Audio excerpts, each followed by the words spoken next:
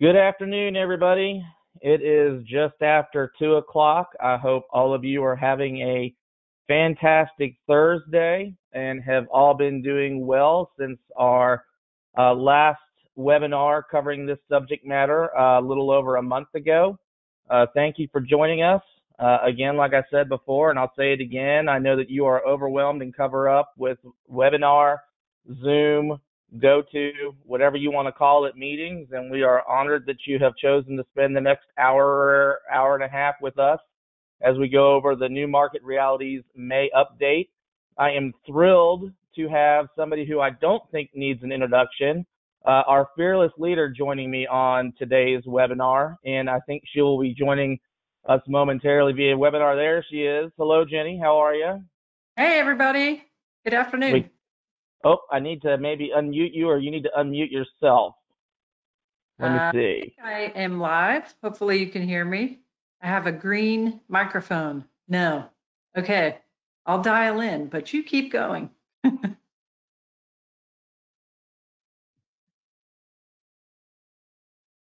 hello. Nothing. I see you as talking, but I can't hear you. Maybe okay, others I'll can. I'll dial in.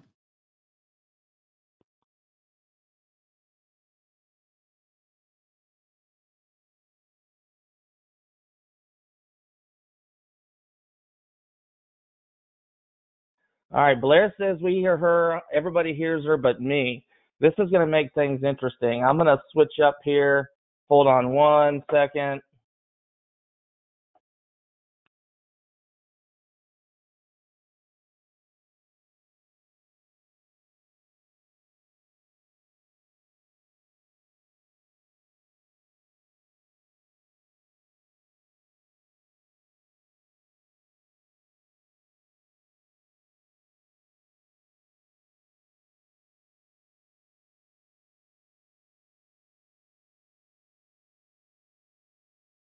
Jenny, can you hear me?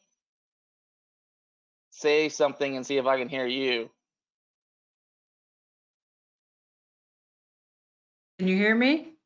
Yay. All right. There we go. Must have been something technical on my side. I apologize. I'm hoping everybody can hear both of us now. Yes. Excellent. Thank you, Tanya. Thank you, Luke. Appreciate it, everybody.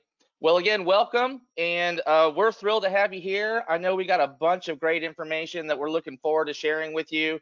And like I said, I'm thrilled to have Jenny on the call with me today because it's really kind of intimidating just to kind of be the only person on the screen here and looking out into the World Wide Web. And at least I have Jenny to look at now, so that's comforting to know. So anyway, I thought we would kick things off with a little differently than we did the last time around and start off with a little poll uh, just to kind of get a sense of maybe where everybody is uh, currently in their real estate business, in their mindset, and just everything else. So I'm going to try and kick this poll off here, and you should hopefully see it show up on your screen.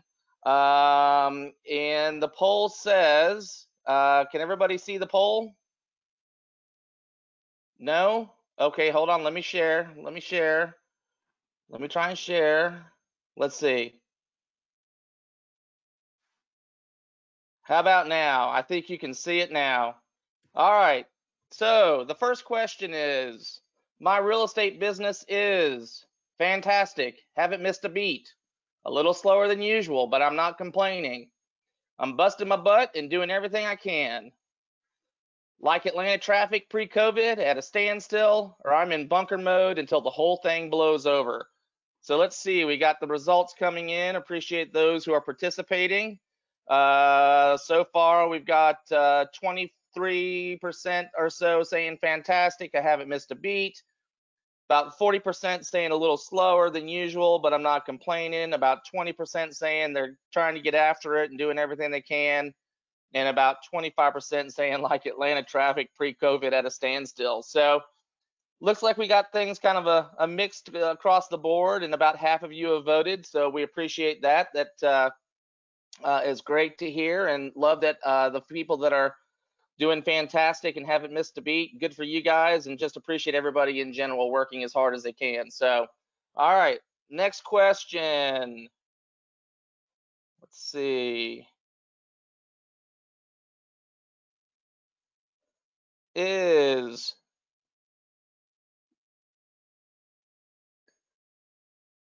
I am blank about the rest of 2020. Uh, first, first one, bullish, gonna make it my own destiny. Cautiously optimistic, hoping for the best. Neutral, gotta wait and see. Somewhat pessimistic, I can only control so much. Or the last one, doom and gloom, game over. All right, we got bullish. Dave Wagner's bullish. I love it, Dave. Uh, let's see. Joan, hoping for the best. Raquel, cautiously optimistic. So basically, at the results I'm looking at here, about a third of you are bullish, and then about 60% are cautiously optimistic, and then uh, 8% are neutral, got to wait and see. So um, good. I like it. Very, very good. Okay, one more question, and then we will jump into the actual webinar here. The final question. Which of the below best describes your current state of mind? Very positive, life is full of rainbows and unicorns. Pretty positive, I'm making the best of things. Some days are good, some days not so good. For the most part, I'm still pretty concerned about things. And then the last one, life just stinks. All right, I'm seeing a lot of pretty positives, pretty positive. Brooke Dixon, pretty positive. Mary Mack, uh, Mary Ellen Mackey, pretty positive. Dave Wagner's positive. I like the mindset, Dave. Player versus a victim, right? Uh, let's see what else we got here. So about 16% are very positive, 63% pretty positive, making the best of things. 19, 20%, some days are good, some days not so good. And the reality is, guys, that, um, you know, just like we're kind of across the board here with these results, the same is going to be true with uh, other agents in our offices, our clients that we're working with. And I think that's just going to be something that we have to manage um, and we'll be dealing with for the many weeks and probably months to come. So thank you for uh, participating in those uh, polls. Greatly appreciate it. Um, a lot of you have already been using the chat, uh, so you know where that is. But as we go through the webinar and you have questions or anything like that, I will do my best along with Jenny to monitor uh, those and answer them just as quickly as we can. Um, and we are just going to jump right into this. Jenny, anything that you'd like to share with the group before we dive in?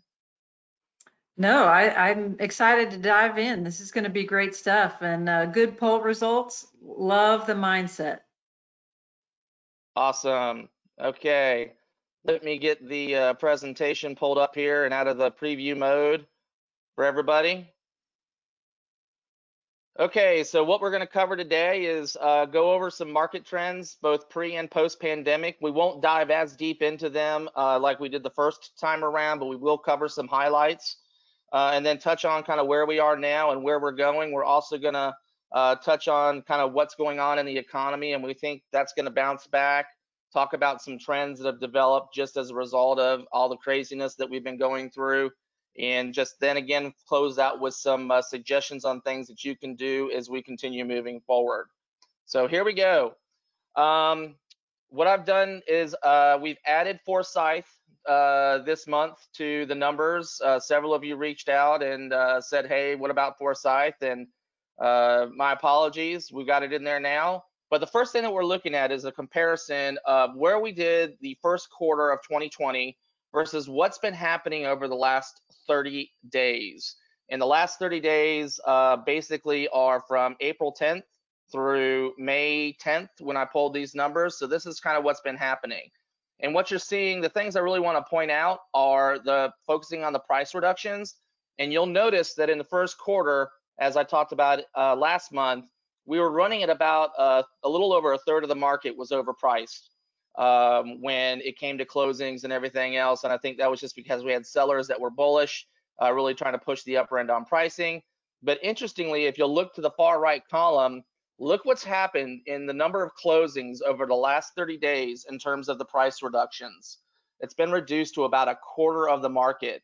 So that kind of tells me one of two things. Uh, one, that the inventory that's been standing and out there for a while that's probably still overpriced. Um, probably buyers have seen it and they've passed and moved on. And those sellers that have gotten a little more realistic in alignment with the market, those are the properties that are selling. And so I think that's a pretty interesting trend. It just goes to show you how critical uh, pricing is, especially in the current market dynamics. And it's across the board. It's not really subject to one county. You'll notice that it's pretty much anywhere from a low of 24.1% in Cobb up to 27.3% in Fulton, but still a significant drop over the last 30 days in the number of homes that have had to do a price reduction. This is the new slide this month, just kind of trying to give you guys an idea of what's been going on with our pricing and sales. Uh, we keep hearing a lot about how there's such a reduction in the number of inventory coming on the market, a number of the reduction in the number of pendings and everything else. And yes, that is our reality, but this is a bright spot and something certainly to share, I think, with sellers. And it is focusing on median sales price, not the average, because a lot of times the median is a better statistic to use when you're trying to look at uh, kind of year over year or month over month gains or, you know, where prices are changing. So the first column here, you have what the April 2020 median was compared to the March, and then what that month over month change was and then again, just what it was back a year ago in April. So again, for all of our counties, um, there have seen uh, both month over month changes in what the average sale price was, along with uh, comparing from last year to this year. Some pretty significant gains uh, with the year over year, with the Cobb leading the way at 13.6%, uh, 335 being the average median versus 295 a year ago. But again, positive information to share with your sellers as you're out in the marketplace. Uh, let's see, just kind of flipping back here to the questions. Um, all right. Uh, new construction figures are not part of your charts. That is correct. Uh, this is just resale, uh, single family detached residential only. So that's what we're looking at today is detached numbers that um, does uh, for uh, resale. So all right, uh, next slide is uh, this that we uh, got from Metrostudy. And basically what it's showing is April sales show that closing prices continue to rise. And what you're seeing before you is just kind of, um, you know, a snapshot of where we were in the 1980 uh, and before from the 90s to 2000, 2000 to 2010, and then 2010 later, and then so again, we continue to see those prices rise, which again is positive for sellers. So despite the fact that the activity is a little bit lower than it was prior to the COVID situation, uh, we are still seeing prices hold, which again is something we expected to see and continue, we'll expect to continue to see as we as we move forward. Uh, I'm not going to spend a lot of time in these slides. They're really there just for you to take a look at after uh, today's webinar but I did want to just kind of run through an example of what it is showing you. Basically, the top table is the same table that we saw uh, last month. And then what I did is I broke it down and created a table for the last 30 days. So again, you can kind of see the trends and what's been happening in the various price points for the different counties. Um, and so again, this is for your reference, but you will see two things or a couple things again I want to show and point out is we have been seeing across all the counties a significant decline in the total days on market, especially for non-reduction homes or those homes that didn't require a price reduction in order to get an offer. And it is across the board, across each county. And I, I, know that that's probably a little bit of a function of the hold status in homes that were probably listed and then went into a hold status and came back on. Uh, but I still think too that that's some interesting trends that we have seen over the last 30 days. Uh, not only is it having an impact on the month's supply in most cases, uh, which you can see here for Cherokee, but it certainly is having a big impact on the total days on market. And again, so for each county, you're going to have two slides. The first will be the one I just showed, and then the next is going to show you a comparison of the month supply this year in April versus last year in April. So for the under 500K in Cherokee, it ticked up a little bit to 2.3 versus 2.1, but still absolutely a seller's market in Cherokee County for homes priced under 500. And then also to look, look at uh, the two all columns over, the total days on market for all price points. I mean, not for all price points, for regardless of whether it was a price reduction or not. 44 days in 2020 compared to 56.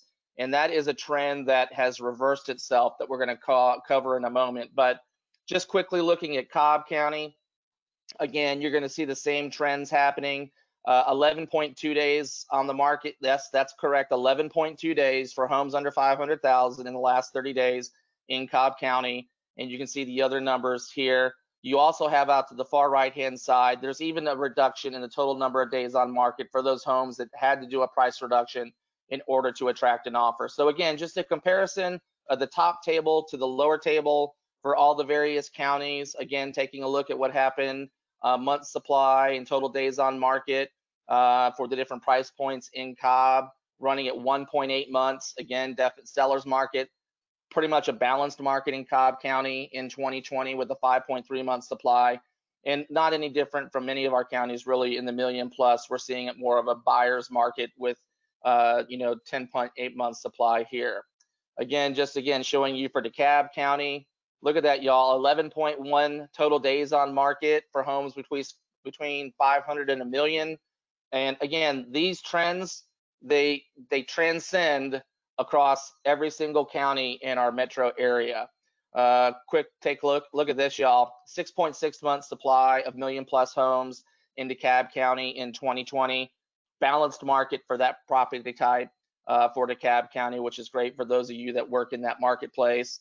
Taking a quick look at Fulton County, again, the trends continue. 19.4 days total days on market the last 30 days compared to 30 days uh, in the first quarter. So all this to say that there is great buyer demand, in my opinion, out in the marketplace. Uh, and the market is definitely showing us that with all of these numbers that I'm sharing with you. Uh, again, throwing Forsyth up there. We did not review this last month, but you see what's going on in Forsyth. 21 days, which has typically kind of been the norm for all of Atlanta for the non-reduction. So that's right in line with what we've been seeing. Uh, and they didn't sell a house. Well, there's one home sold uh, and uh, you can see kind of what the thing was there. And it actually sold. It was probably a quiet listing or coming soon because it wasn't on the market for any days. So that is not a misprint or a mistype. It is correct. And then again, you see the month supply and total days on market summary for April for Forsyth.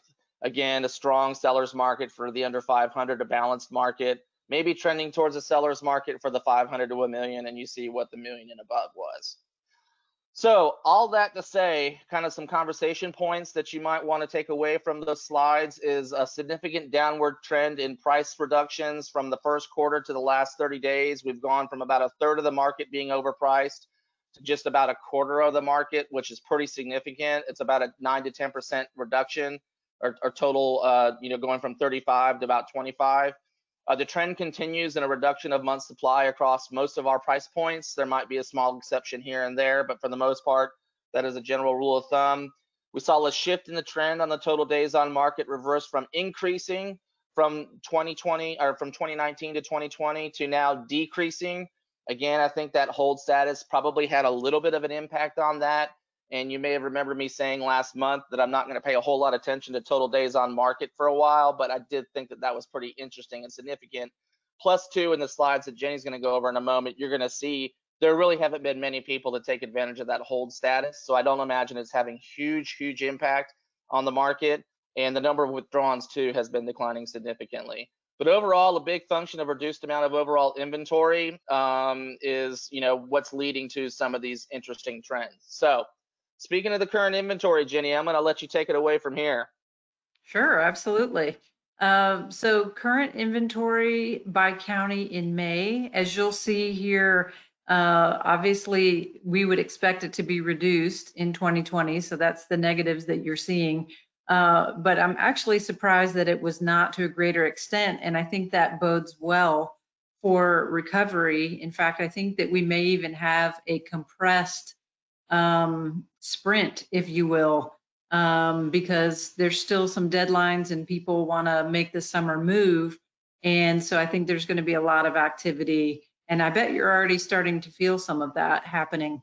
Um, so as you'll notice, that compares uh, to inventory a year ago. And the number of price reductions, Todd basically talked about already that that's around a third previously. And then withdrawn in the last 30 versus 60 days, you can tell there's not much of a difference between those numbers uh, in comparison. And then those on hold for the last 30 days. Again, not significant in, uh, in its impact. This was very interesting. And you may or may not have seen it, but in USA Today, it demonstrates that Atlanta is actually seeing an increase in listings, which we've talked about either in our videos or other communications that we've shared with you all already. And um, that's that bodes well. The other thing um, that I want to add here is yesterday I heard Lawrence Yun, who is the head economist for NAR, and he basically said that the Midwest and the South, and he particularly also mentioned Atlanta, was recovering faster than most of the nation. So that's a great thing. And it is, you know, very foundational to the things that we believe why it's such a great place to live. But it's nice to see that bear out in the actual numbers. And here, what you're going to see is the a builder Atlanta specific builder survey results. And the question was, you know, how do you see the pandemic impacting your inventory plans? For 2020 or your building plans. And basically, most of the builders indicated if you add them together, it's about 80-ish uh, percent, a little more than 80, felt like their business would be slightly adjusted by either 80% or 60%. So what they plan to build will be um, 80% instead of the 100% or 60% in most cases. And I suspect that that's just due to the um, limitation of time and the limitation of supplies. So sorry uh, about that. Didn't mean to skip ahead. I do think they'll recover quickly from that. And one thing too, uh, Jenny, that they were pointing out on uh, when they shared this with us the other day is just how this is going to continue to put downward pressure on the inventory situation because uh, builders, you know, we've the builders have been having such a hard time keeping up with the demand to begin with, but because of this happening, and you know, some of the reduction too was attributed to their ability to get the labor, um, you know, people working on the homes and so forth and so on, and just a natural uh, contraction of this what they had the ability to produce between now and the end of the year. But again, it's going to have a big impact on our inventory situation as we continue to move through this and into the uh, coming months and years, which is uh, what this is kind of showing. Yeah, it certainly indicates, I mean, that would explain why the adjustment from uh, what it was shrinking the days on market because there's less inventory with new homes. So the inventory that was there is um, happily being gobbled up, which is a great thing. And here what you'll see is um, basically at the end of the first quarter, there's a little tick mark and then uh, about 25,000 uh, annual starts at the end of the first quarter. And they do expect uh, basically a small dip there and then returning basically by 2023. again, these are projections. Uh, and that was if it was down 10%. So later you'll see some other projections that are uh, kind of mirroring this. And Todd, I'd love your comment on this one, but basically uh, the forecast is pretty interesting, and I like how they did a best case, middle of the road, worst case here. Yeah, so basically what this is showing, assuming the 80%, you know, um, of the people surveyed, you know, what they're planning in terms of the rest of 2020, this kind of like lays out what would happen, you know, so the best case is, you know, what we've talked about, and then you had the middle of the road, the worst case, and so forth and so on. And so we're really hoping that that orange line is, uh, I mean, the uh, green line is what we have happen, the best case, this lower level. And uh, what's interesting is, is um, the month supply you'll notice is a little bit higher than, than, than what the resale is. And a typical balanced market for new construction is around that uh, seven to eight month time period. And that's probably because that's about the length of time it takes to build a typical home. Uh, when you start getting up into the upper numbers is when you start when the builders really start getting a little nervous. Uh, but I've already uh, been hearing about uh, builders getting a little more, making a few more concessions uh, than they were in the past. You know, for a long time now, they're really kind of taking advantage of the fact that there was an inventory shortage issue. And now I think what they're doing is because I've talked with a lot of agents in the past and saying builders have just gotten back to the way it was back in the 2005, 2006, where you go and ask for an upgraded carpeting pad and they're not willing to do anything. Well, I think the reverse is going to start to happen, and there might be some opportunities for those of you working with buyers in the new construction segment to maybe get a little bit of an extra thrown in or a little bit of an upgrade. So again, something positive for the clients that we're working with right now. Perfect. Yeah, and here what you'll see is uh, Cherokee County. So the, we're going to kind of walk through each county here, but basically a good rule of thumb, at least in the current market, is that properties that are under 500 generally are between 50 to 70% of the market. And you'll kind of notice that across all the counties. Obviously, it's a little different by county, but that's a, a good rule of thumb for our metro area. And then you can kind of see here, uh, Fulton County is 50-50. Actually, it's a little less than 50-50. So it's probably, um, you know, on the spectrum, the, the one that is most evenly balanced. And then you saw at the beginning, the one that was uh, 70%, which I believe was Cherokee. Yep. And the price reduction is, you know, Yep. varying somewhere between 25% to 33%, uh, depending on the county and the price point as well here. Yeah, that's an interesting trend we're going to have to watch. Is this is again the current inventory. So if you recall back, we just talked about 25% was roughly the uh, percent reductions of the closings. So we still have a lot of inventory out in that market right now that is overpriced and is not moving, has not been gobbled up by the buyers yet. And so I saw the question that came in asking about, you know, when is a good time to be having that conversation if you've been on the market for for two plus months um, in terms of a price reduction. I, I, think the sooner you can get it, the better. Um, I, you know, I, I don't think that we're going to be controlled by things like holidays and graduations and things of that nature that we typically kind of see happen and kind of create triggers for us. And they say, well, let's wait till Memorial Day and then we'll go ahead and do the price reduction because nobody's going to be looking for houses. I think people are looking for houses you know, all the time now, and the holidays and graduations aren't the disruptor that they typically are uh, historically. So, any any thoughts on that, Jenny? Yeah, I'll add one other thing that I learned yesterday, uh, again from Lawrence Yun, and they did a survey of buyers and sellers and basically said, what do you anticipate is going to be the impact on pricing? And uh, sellers uh, in true seller form indicated that uh, they ex 90% expected the pricing to hold true. And buyers of the buyers, they felt like 60% of the pricing would hold true. So uh, interesting sort of inequity there. We'll see how that plays out in the marketplace. Yep.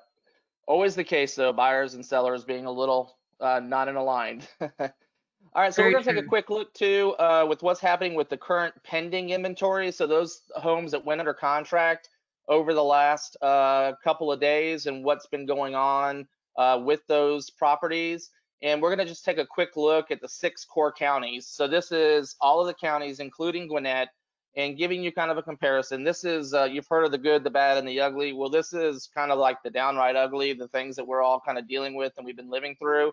But there is a, a bright side to all of this that I'm going to share with you in a moment. But uh, for the entire market, uh, for the uh, period of time of May 1st through May 10th, uh, we were down uh, from a pending inventory, or you know, things that went under contract by about 63%. Uh, and if you compare that to the same time frame, May of this year to April of this year, we're down about 32% for the entire market. And then you see the adjustments or the or the percentages down uh, by price point break, you know, the under five, the five to a million, and the million plus. So again, not the greatest of slides to really focus on. So we're going to move quickly off of that, but you need to know kind of what we've been living through. This is the one though that I think is really, really uh, more positive and a lot more interesting. And again, this is the uh, what has gone under contract in the six core counties in the last 30 days, broken down by uh, county. So again, kind of what we touched on before, the last 30 days, total days on market, and this is again across all price points, uh, regardless of whether or not there was a price reduction or not. We're running at about 41.5 days in Cherokee compared to 57.7 in the first quarter, so a big, big decline in the total days on market. And then again, I've showed the price reductions uh, irrespective of price point and just showing you kind of what the trend has been happening. The only county to really not see significant declines, but yet still a decline was DeKalb that moved from a 32.9% to 30%. So still a little bit less than a third of the market overpriced in DeKalb County. But for the rest of the counties, significant drops. Um, you know, look at uh, even Forsyth went from 68.7 days total days on market to 41. Look at Cobb going from 49.2 to 30. I mean, that's a lot of days. That's three weeks almost right there, everybody. So again, a positive sign. Just I think more indication of a limited inventory situation that I'm sure many of you are feeling right now. I was talking to one of our brokers uh, yesterday who had an agent who just put a property on the market and over the weekend had 20 offers come in. Now, you want to talk about dealing with multiple offers. Um, I don't know how they handled or juggled. They had to create a spreadsheet to manage all of these offers that were coming in. I heard of another situation where we had eight offers coming in on the same property. So again, the, the demand's out there and we do have still uh, an inventory uh, situation. So anything you'd like to add to that, Jenny, or anything that you've been hearing? Um, similar, certainly not to the level of 20. So my goodness, they're probably still sorting through that. Uh, but I think, you know, in properties that are, are well positioned and well priced, that that is going to, to make a difference. But I also think that people are not going to overpay. So really walking that fine balance there. Yeah, for sure, for sure. Uh, and so again, just some conversation points to be mindful of, uh, summarizing the last couple of slides we took a look through. Uh, while inventory is still down compared to the same time period, it has improved over the last 30 days. Uh, like we were talking about earlier, we're seeing that inventory and those listings start coming back onto the market. You've probably been having conversations with some of your sellers who have been in a holding pattern, a wait and see, or for whatever reason they might have, and they're starting to see that come on. Um, uh, an interesting trend was, you know, a third of the active inventory uh, has experienced at least one price reduction. We kind of covered that. However, the sales about 25%. So still got a lot of inventory out there that probably needs to maybe still come down a little bit. Uh, and then there's been a significant dip in the total days on market. Again, maybe a small function of the hold status. I don't think all that much. I think it's just a matter of when a good house comes on the market and it's priced correctly, it's going to go. So um, we are going to now shift into what's next and what we think is going to be on the horizon for the, you know, next couple of months and probably through the rest of 2020. And we're going to cover things like when is the economy going to recover? What's the unemployment picture looking like right now? Trends as a result of uh, COVID, and then finally finishing up with what should I be doing right now? So Jenny, I'm gonna let you take over and kind of share with us what's been going on in the economy and when we think it's gonna fully recover. Sure. Well, I appreciate you giving me probably the most difficult question, uh, the whole thing. So thanks for that. Um, but gosh, I think if we knew this for sure, wouldn't we be amazing? But I think we can sort of read the tea leaves, if you will, or look at some data to help us make those decisions. And what you'll see here is uh, that basically the GDP for 2020 was uh, the first quarter was projected to be down almost 5%. And in fact, it did turn out to be uh, very close to that number.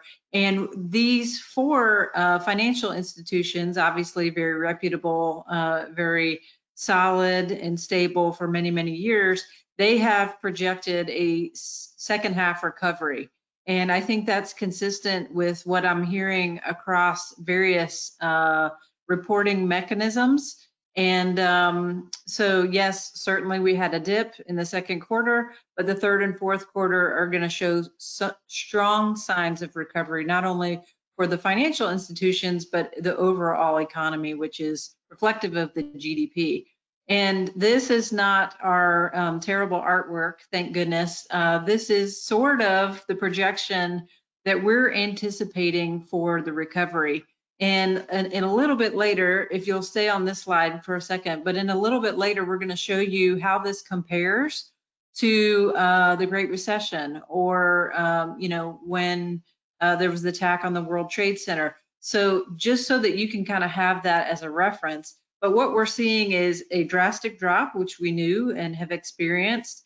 And what we're going to see is a fairly speedy recovery, not a V, certainly uh, more speedy than probably most of the significant worldwide or national events in the past. So that bodes well. Yeah. And the uh, link there below, Jenny, is uh, a link to an article that kind of talks about it being more of a check mark uh, by uh, Mike DelPrete, and a, a, great resource too. If you don't follow him, he's he's great in terms of, and he covers Atlanta in all of his analysis. So it's a great great thing to check out, which is why I included that link down there. Absolutely, yeah. He's he is another great resource from our partnership with uh, leading real estate companies of the world. Um, yes, he stands alone, but we have some great input from him. And I would love your input on the science of things since you handed me the most difficult question of all. there you go. Happy to take it. So really kind of what it boils down to is, you know, in terms of a recovery, it's not, you know, there, there's more to it than just, you know, the economics of it. So you do have the business science, which is going to kind of be, you know, how have the economies rebounded with similar uh, slowdowns uh, historically in the past, but you also have the health science, um, which you know we're all living through, seeing on the news, and so forth and so on. Of when will the uh, COVID be under control, and will there be another you know flare up with the virus this fall? So those are all things that I think are in the back of people's minds, or most people's minds, as we kind of re-enter the marketplace and re-enter our offices. And then the third component you have to it is the people science. And then, you know, after businesses are fully up and operational, how long is it going to take American consumers to return to normal consumption patterns? For example, going to the movies, attending a sporting event, you know, flying, etc. So you have all of these dynamics who are kind of working together that are going to impact, I think, you know, what we see as we move forward into the next, you know, months and probably for the remainder of, of 2020. And I, I thought this was a, a, really, really good quote. It says, although the uncertainty of the crisis means forecasts of economic activity are more unclear than usual, we expect that most of the economic damage from the virus will be contained in the first half of the year. Uh, going forward, we should see a recovery starting in the second half of 2020, much like you were uh, mentioning earlier, Jenny, and that's coming from the chief economist at Freddie Mac. Uh, so I thought that was a great uh, little soundbite. And then another thing from CNBC, uh, evidence is mounting that home buyers may be coming back to the market after demand plummeted in the past month due to the coronavirus, and that was on CNBC. And something that's not in the slide that I just read this morning, um, uh, this was off of MSN, was talking about specifically again Georgia and how we're seeing a huge uptick in the percentage of um, uh, purchase mortgages, and it's double digits uh, for the last uh, couple of weeks or this week compared to last week. And I know I had uh, Rick on last month kind of talking about what's going on in the mortgage world, and we don't have him today or anybody uh, that can speak to that. But um, my sense is that that would be uh, they've been feeling that too in terms of at prosperity but I thought that was another positive sign. They uh, they mentioned other marketplaces that were in the southeast. You know, another hot hot market right now is uh, Texas and specifically Austin and Dallas, and they came out of the shelter in place around the same time that we did here in Georgia. So again, just kind of going back and showing the uh, good buyer demand. Uh, speaking of demand and showings, this is just a graph showing what the impact of COVID has had to real estate showings in North America, and this is coming from ShowingTime. And you can kind of see where we were at the beginning of the year and how we peaked out the first week of March, and then it just fell off a cliff. But look what's been happening over the last uh, couple of weeks, specifically in April that we just all lived through. We're basically back up to the number of showings that we were at at the beginning of the year on a moving seven-day average. So again, in, in, in my opinion, a very positive sign and probably you know many of you have been you know feeling that out in the marketplace. I've received a couple of emails from folks saying I'd love to be on the webinar today, but I'm actually going to be out showing properties. So good for you, and uh, you know it shows that the buyers are coming back. Um, you want to take on this one, Jenny? Sure. Uh, percentage of homeowner equity. So actually, I was going to share something that very much aligns with this as well. But basically, if you add the, the largest slice there, and the second largest slice that basically is about 60% of homeowners have a significant amount of equity. It's actually about 60%. So 60% of homeowners have about 60% or more of equity. And uh, the reason that this is important is the the financial impact and the real estate crunch that we felt and lived through in 08 and 09 is very different than the dynamics of the market that are happening right now. And um, that will that is another reason that our economy will recover sooner and real estate will not have the level of impact that is before. And this slide just goes into more detail about 177,000 uh, is the average equity of mortgage homes. So uh, yeah. that's thing. And while you're on this slide, I'll, I'll share two other things. Um, going back to something that I learned yesterday as well, the GDP details of 2020 for the first quarter um, indicated that people's income rose 2%. But what was more interesting is personal savings were up 152%. And uh, wow. point a little bit later, I'll talk specifically about the luxury market uh, because right now that is uh, probably the most impacted.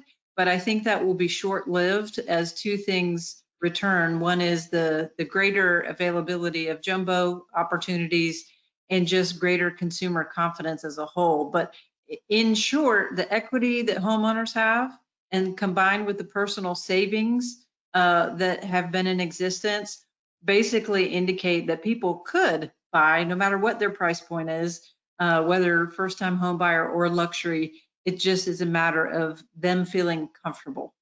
Yeah.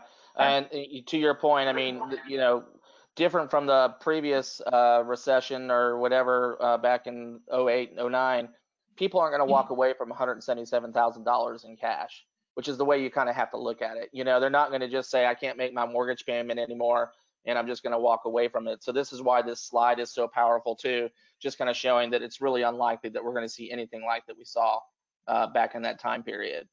So, um, job losses. You know, we've been hearing a lot about unemployment, unemployment numbers. The Department of Labor just came out with their uh, uh, numbers for uh, last month on Friday.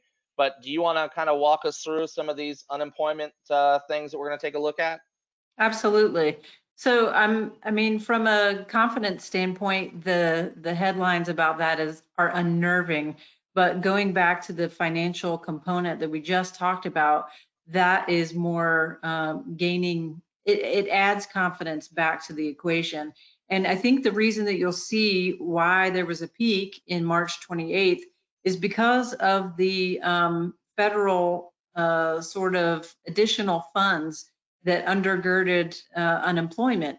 And as that looks to expire uh, soon in the uh, end of June, a lot of people are going to come back and they, that additional um, benefit will expire. And not only that, but if you think about um, companies that are returning to work, they want to be fully staffed and they want to be highly operational. And so all of those things bode well. What you can see from this is that the bulk, whether you can read it or not, that red line is servers and bartenders.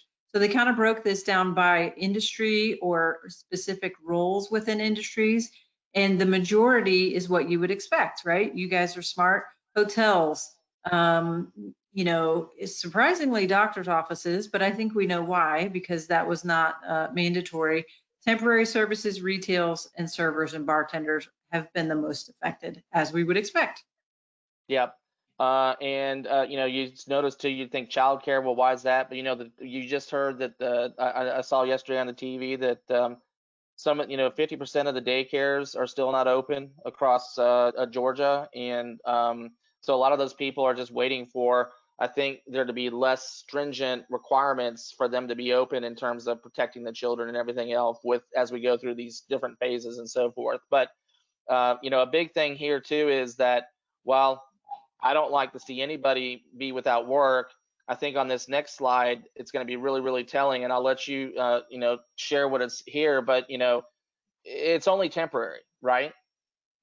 Yeah, I mean, the good thing that we see, good thing from a, from a difficult situation is that 85, more than 85% are employed, which is good news. And uh, of that, what you'll notice is that 90% of those that are unemployed expect that to be temporary. So think of it like a furlough to take advantage of the government um, subsidizing the uninsurance or, or, unemployment insurance. So that's a plus. And then uh, as far as the group that is most affected, it is teenagers. And you think of that because, you know, um, more of like a, a, temporary or an hourly kind of retail type of roles. So that yeah. uh, would indicate that's not really our buyer population, um, at least not yet. Yeah, at least not yet. I was going to say. All right. Uh, let's see. Next thing we have. Um, this is uh, you alluded to it, so I'm gonna let you take it.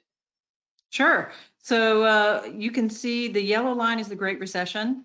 And uh, obviously, that was a very drawn out uh, recovery period, the ninth year there. And um, this is spe- specifically talking about unemployment. When will the unemployment rate return to where it was before this whole thing started? So these are the comparative things. Uh, the Great Depression, it took about 12 years. Uh, and then the projections that we touched on earlier were Goldman and JP Morgan, and they're definitely more of a V shape or a swoosh, if you will. Yeah. All right, so gonna talk in, jump into kind of the people science, um, you know, that we alluded to before, how we have the business science, the health science, and the people science. And uh, these are things that, you know, kind of just is what's going on. And I thought this was really, really interesting. This is a, a quote directly from Google. And it says the data tells us people are looking for two things right now help and comfort. If you're able to help them to navigate the current situation, tell them about that. Things like a caring human being with the resources to help millions, then act accordingly in the mutual interest of business and society. So that's Big Brother telling you what people are searching for and Googling right now is I need help with something or I need find something that's going to kind of comfort me and help me get through all this craziness that's going on in the world right now. So how can you use that or parlay that to something that you can do tangibly in your business? Well, the first thing that you can do is make your message make your messages simple and effective. So however you're communicating your message to your sphere, your contacts, your clients, whomever, just make it simple and effective. The second thing is remain hyper current on all housing info. And, you know, by that, what's going on in Atlanta? What's going on in Fulton County? What's going on in North Fulton County? What's going on in Roswell High School? I mean, that's to the extent of how hyper local you really need to be getting. But then you also want to be mixing some of that micro data with the macro data because the reality is, you know, most people's uh, sources of information are what they access uh, when they click on the remote on a nightly basis and they're seeing the evening news or they're turning it on to whatever news source they want to to watch or uh, use online. So that's where they're getting a lot of their information. And as we all know, they love to push these headlines that you know inject fear or you know instability or uncertainty. So that's where you need to kind of be using a mix of those two things. And then the last thing is, and I got to again give a shout out and a kudos to the three folks who participated in the virtual open house yesterday. It was fantastic. If you didn't have a chance to watch it, I know it's being recorded and the link will be sent out shortly. So thank you to Emily, to uh, uh, Rachel uh, Brockstein, to Butch, and to uh, Donna Agello for uh, jumping in and leading us through some of those things. It was great. But number four is use videos on social media and Zoom meetings and any other kind of meeting like we're using today, because that is the new way, uh, something that we all have been adopting and getting more accustomed to over the last couple of weeks. So all things to keep in mind as you're planning the last half of 2020 in terms of what you want to do from a marketing standpoint and how you're going to finish out the year. So how can you help consumers make uh, easier decisions? Well, we all know that there's a left brain and a right brain, and all of us are each kind of have tendencies going to one or the other.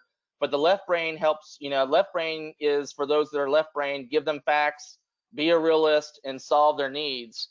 And for those right brained individuals, visualization, storytelling, make the world better, uh, be human, and solve uh, for desire. You know, those are things that you can be doing when you're working with uh, those that are right brain.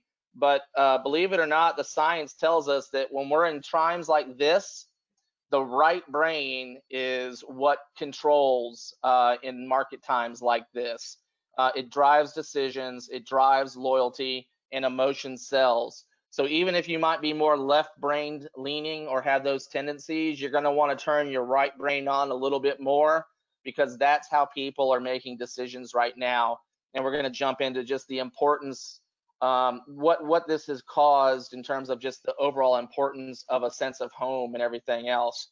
And right here, home has never been more important uh, than before. So Jenny, I'm gonna let you cover kind of what we're seeing here specifically in Atlanta with regards to who's shopping and what's been changing. Sure. Uh, so you'll see uh, ranked here at the bottom, uh, the, the leading set of uh, purchasers right now are the tweeners. So 1975 to 1984, basically uh, 36 to 45 year olds. They are um, the leading contingent uh, in here in Atlanta. the second is mature Gen X. So those that are 46 to 55, and then young boomers, uh, maybe downsizing or um, just want something updated as the case may be, and then young Gen Y. So uh, think of them as first time home buyers, 26 to 35. And it was interesting that um, most people, uh, specifically in Atlanta, because the average uh, turnaround time, if you will, is about 14 years. Obviously, that varies, uh, but between 7 and 14, but 14 being the utmost. So if you think about that, in a lot of cases for people's adult life, they are only selling once or twice. And obviously, selling in the market that we have right now is very different than perhaps when they sold before. So um, turning on that right brain, yes, they should have the market data, but they also need your support. And having a nice blend of the two is uh, what's going to make us most successful. Yeah, it was interesting too when I was, uh, um, you know, hearing some of this information the other day, specifically talking about the young boomers um, you know, there's an interesting trend, and we're going to kind of touch on it a little bit as we talk about some things that we're seeing in regards to what they're wanting in the homes these days. But a lot of these young boomers are taking in aging parents. And so you have households that have three generations in them in some cases. You've got the children, you've got the young boomers themselves, and then you've got the parents of the young boomers. So it's creating the need for having multiple master bedrooms or you know those kinds of things and a lot of things on the first floor uh, to help with these aging parents. So you have a lot of families coming together and i think uh, in light of everything that's been happening we're going to see a lot more of that of the family unit kind of condensing and getting a little more closer together. So it'll be interesting to see how that you know evolves over the next you know many many months and, and years to come um, I love this slide just because, and it kind of, it doesn't really fit with what we just talked about, but I didn't really know where to slide it in, so I just put it here. But it's a great graph in my opinion because it really talks about how what the what the impact of low interest rates does to the buying power of any consumer. And so if you look at it, you've got kind of like where interest rates are is the dotted line right now, and you can kind of move that to the left or the right according to kind of where they are in today's market. But it just shows you, and then it shows you kind of like the the you know if they have the um, the, the down payment um, what they have, you know, and what they can actually afford. So as the interest rate goes up, it significantly impacts um, what they can afford uh, in terms of a house. So I thought it was just a great slide that you could put into your buyer packet or something like that uh, when you're working with folks. So um, talk a little bit about this next slide, Jenny, and um, you know what we're seeing specifically here in Atlanta in terms of a motivation to buy. Sure. Well, first, I'd love to acknowledge that is a really gorgeous kitchen. So um, we should just take that in for a moment, and then we can talk about what's on the right. But basically, the top motivation to buy in Atlanta, its location and why. Um, one, I think lifestyle amenities, you know, schools, perhaps all of those components, if you will.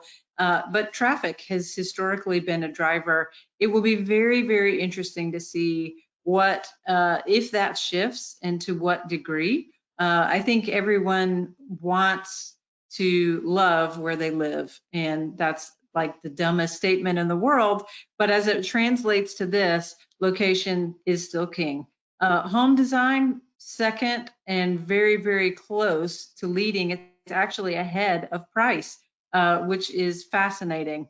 Um, but, and then you can see the rest, which are, you know, typical components that we would expect as far as top motivators. Great. Uh, next slide is kind of talking about, you know, uh, what what are the top home features that uh, they're currently looking for specific here to Atlanta? And again, all of these slides that we're going to be taking a look at moving forward are Atlanta based and focused. So um, top home feature, 95% say interior style uh, of the home is is hugely uh, critical to them followed up closely by more function of space, which we're going to touch in a little bit more and give you some specific examples of how people are using actual space in the homes and how they want to be using them uh, moving forward. Better lifestyle, obviously big. Uh, the exterior style of the home is still significant as well. And then you see some of the other things. Affordability, interestingly, um, you know, only 77% said that affordability was something that was, um, you know, uh, important to them from a home feature standpoint. Larger home and larger uh, yard kind of bottoming out there, but still significant at 58 and 52 percent. Uh, I thought this was interesting uh, because you know we have been known as being a very traditional style marketplace. Atlanta has for for many many years, um, both externally and internally or interior wise. But this is just kind of showing you that we have actually tip the scale uh, and more people are leaning towards and wanting more of a modern look feel uh, when you combine the somewhat modern and modern to the very traditional and somewhat traditional. And you know, by modern, it's not like over the top crazy lines and crazy architecture. It's more of like you know what you see in the interior. And a good example is the photo uh, to the bottom right, where just clean lines and everything else. And I'm sure many of you, as you have been out uh, showing new construction and everything else have probably been seeing some of this stuff uh, that's been coming up out of the ground. So uh, I think a trend that we'll continue to see um, moving forward. And I'll just make a quick comment here. Um, I want to give a congratulations because a lot of you are on social media and you are getting this into the thought pattern of your clients or potential clients. And I love that. And what I've seen some of you do very successfully is which do you prefer, A or B? And then there's kind of a, a thing there, and it creates a very helpful dialogue, uh, not only to understand the mindset of potential clients, but also to get them thinking about, hey, if you're going to sell your house, which of these is more appealing to you? So um, great job. You all are, are doing fantastic things with uh, your social media. Couldn't agree with you more, Jenny. You're right on. Um, this is just kind of showing, you know, the home levels that are preferred, and uh, the two-story home still is by far, uh, by almost 50%, the preferred uh, type of construction that home buyers are currently looking for in Atlanta. Uh, then also thought it was interesting that 30% uh, of the two-story would prefer the master to be on the first level. and then you can see too that two masters, one on each level, uh, 19%. And I think that kind of speaks back to what we were talking about earlier with the, the, the families all kind of coming together and having to have a place for uh, the uh, aging parents to, to, to move in and not have to deal with stairs. So um, the next slide, Jenny, I'll let you cover this one.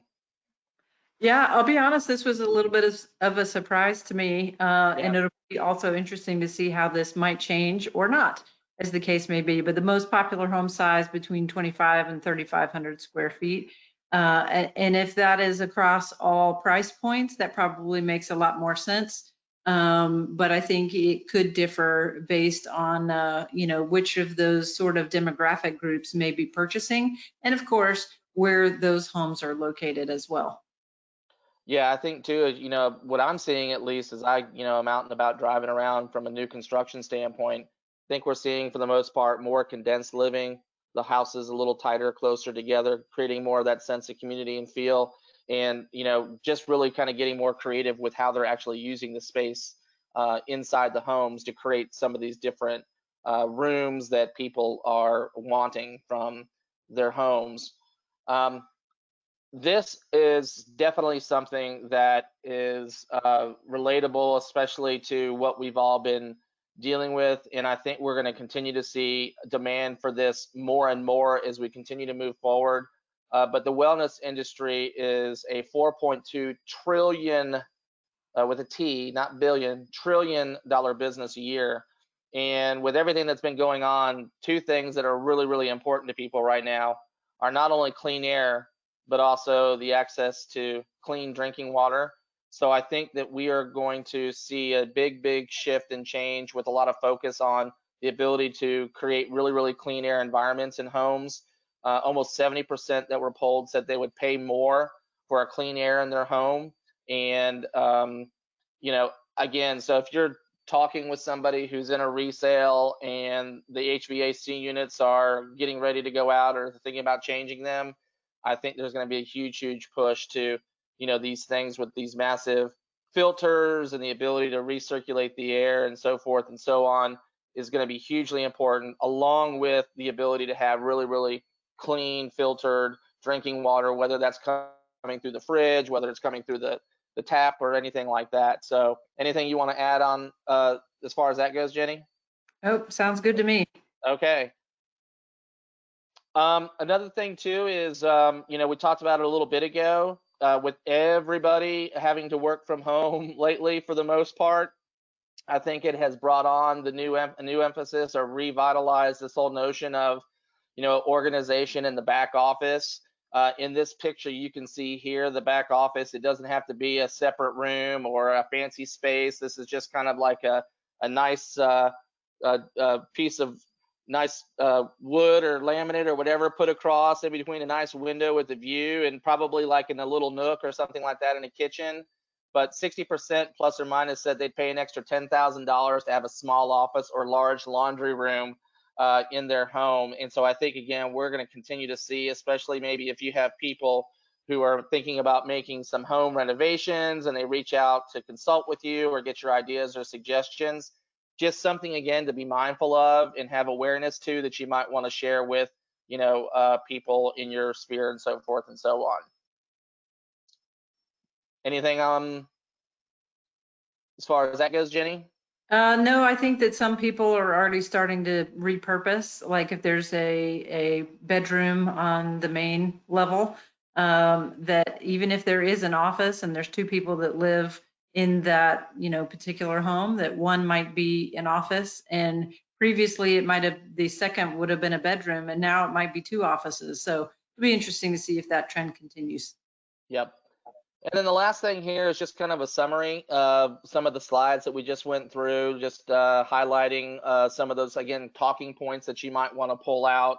Uh, the first one being home is more important today than it has been for the last 100 years um, or later. And again, I think just because a function of a couple of things, everybody's been cooped up in them for the most part for the last 45 to 60 days. Home gives a sense of security and safety and everything else. And people are just realizing that, you know, it's just not a place to pull in, leave the car, sleep in, and then you go out the next day. So I think that is something we're going to continue to see be important. I think it is going to impact uh, maybe uh, some of the properties people uh, look for. We talked about this a little, little last month. You know, maybe more of these self-sufficient homes or getting off the grid uh, in case something like this were to happen again is something that people might be looking at, or just self-sufficiency of the home. But again, it's never been more important today than it has been in a long, long time. Uh, focus on the tweeners and the young boomers. Um, you know, they uh, are really kind of where the buying segment is right now. And just, you know, so your marketing efforts should be geared towards them.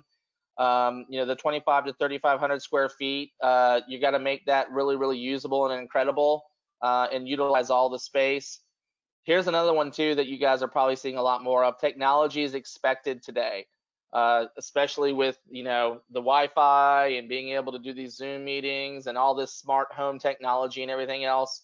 That's not going away. So I think a good thing that you know sellers might want to consider is get the smart thermostats, make the home as smart as possible. They'll definitely recoup most of that money because that's what people are expecting as they're looking at properties. Uh, multi-generational living we've already touched on is going to continue to grow, especially as the baby boomers continue to age uh, and the young boomers are going to be responsible for taking care of the, the, the their parents. I'm going to let you uh, take the last five there, Jenny. Sure. Health and wellness, uh, critical. I, I, think that's um, obvious. Uh, sustainability and living off the grid. Um, lots of turkey jerky stockpiled in the basement. I don't know, uh, but I think definitely um, sustainability is an important component of that for sure. Home office, fitness rooms, media rooms, virtual rooms, what we would call flex space, being able to be um, sort of divided a bit as needed for multiple use. And then, of course, brands. Uh, this has been ongoing for a bit, but brands that they trust will matter more uh, than virtual sales platforms. Uh, and that certainly rings true for us as a great trusted brand. And it's time to sharpen your tools, your product, and your strategy. Uh, I, I reiterate this um, because I think it's so important. What we have seen all of you do uh, in the last 60 days personally and professionally has just been superb. I mean, you've been flexible, you've been innovative, you've tried new things, and um, it shows. And I think it's going to elevate us even beyond what we were anticipating uh, coming out of this. So kudos to you all. Yeah, couldn't agree more. And uh, the what should I do right now?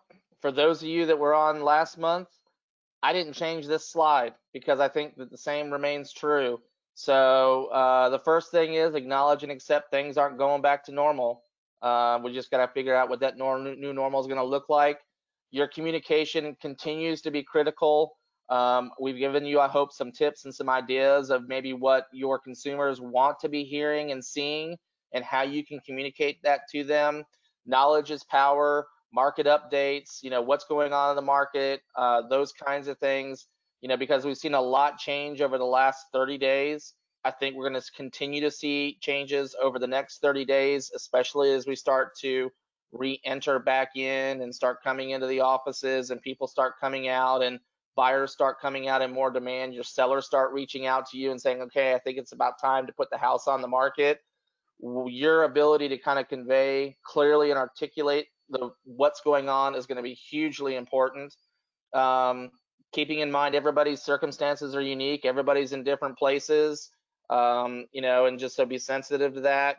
But hone your critical skills now. Um, are they currently aligned with the new market realities? Master your market vital signs, things such as what is the total days on market right now? What is the month supply? What is the average or the median sales price in those communities that I work? You should be able to just rattle those things off the tip of your tongue um, as you're out and about. And then lastly, uh, kind of touched on it before, you got to still take care of you. Um, you know, we saw this, the slides or the surveys there earlier. Obviously, everybody's in a different place, uh, um, you know, with what's going on. But if you don't take care of you first, you can't take care of others. So don't forget to take care of yourself. And, um, you know, uh, be be in a great place in a great mind to to help others. So uh, with that, we'll take any questions that you guys might have uh, regarding any of the information we went over. I've been monitoring things as they've been coming up. Um, I haven't really seen uh, too much, but let me just go back here and see. Um, can we use some of these slides for our social media? Absolutely. Would love for you to do that. The slides will be available. Um, we will get those out to everybody. Uh, are these feature stats different pre-COVID? Some of the things um, that we talked about were probably things that were going on before the pandemic, but certainly things like the importance of home and the features and kind of the where people are leaning towards to some of these virtual rooms or the workout room, the the extra office like Jenny mentioned, um, are going to be things that I think we continue to see. Dave Wagner, you'll like this, Jenny. He says, I love the name Young Boomer.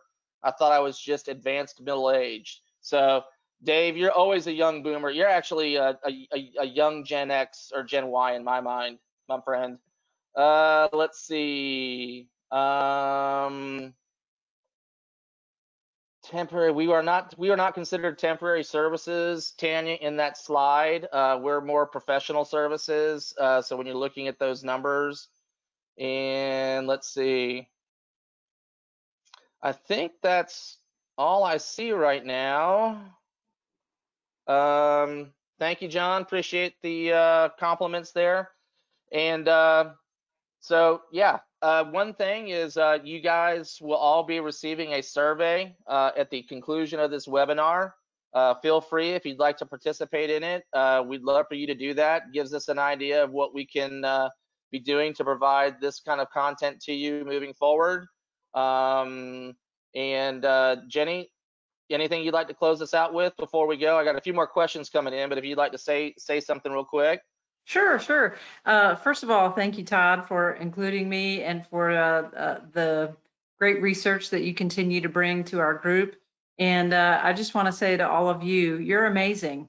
And we need you and we appreciate you. So thanks for taking your time today. Uh, and we'll cover the last few questions, but uh, it's greatly appreciated.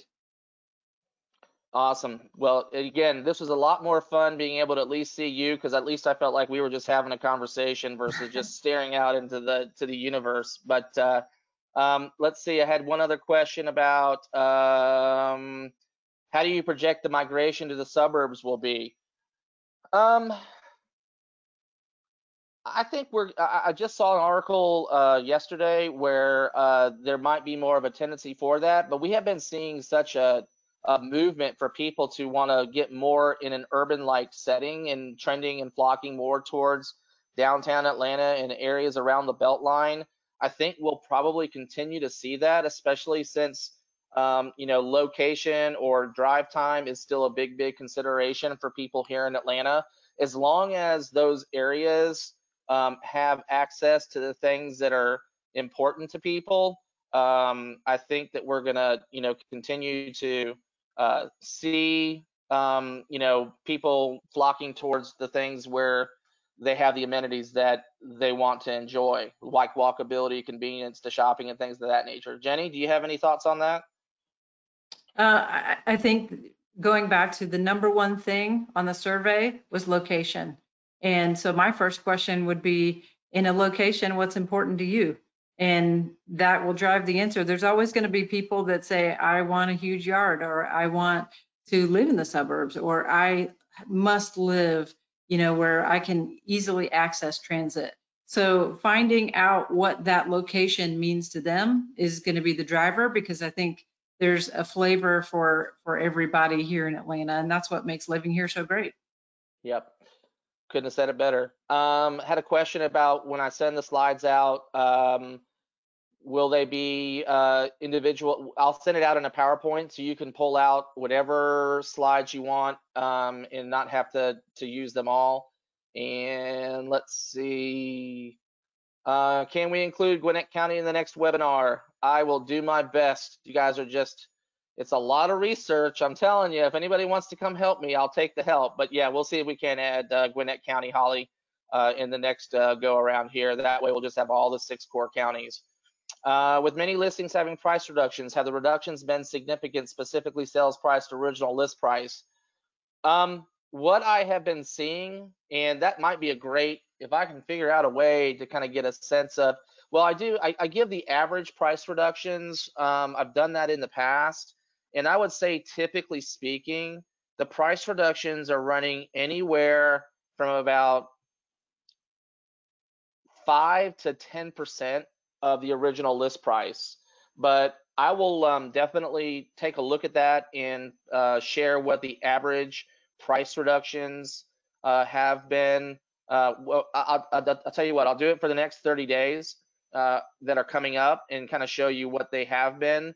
but they typically track anywhere from five to 10%. So, uh, and, and of course, that's going to vary by price point. You know, as you get in the upper end and the million plus, it's probably going to be a little bit higher than that when they do have a price reduction. But I will uh, add that uh, as a statistic to share with you guys next month. Hey, one other thing on that before you leave that topic. Uh, Yeah.